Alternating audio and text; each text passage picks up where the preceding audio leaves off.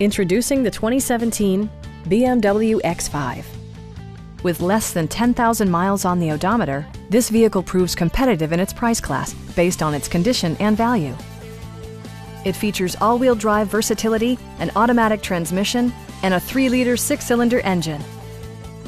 A turbocharger is also included as an economical means of increasing performance. BMW prioritized comfort and style by including heated door mirrors, a power liftgate, lane departure warning, and seat memory.